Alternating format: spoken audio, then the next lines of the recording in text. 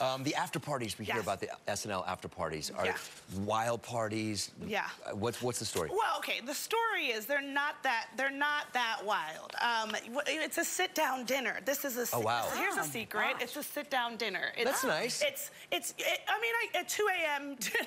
It's, Right, it's almost br- it's almost yes, brunch. Yes, it's basically it, that's true. And so I sleep through actual brunch, and I just Yeah. do the Yes. after But you party. guys, at this point, you are nocturnal. Yes, ki- and, You and have to become right, that way. Right, and it's it's it's normal to us. And I have friends on the West Coast who be like, "I want to call you, but it's like 10 p.m. your time," and I go, "I'm up. I'm, I feel like I'm just getting my day started Right. at 10. This is different for me." Yes, I know. Thank you. We no, actually really appreciate I'm you so being happy here. to be here. Thank you for having Um, me.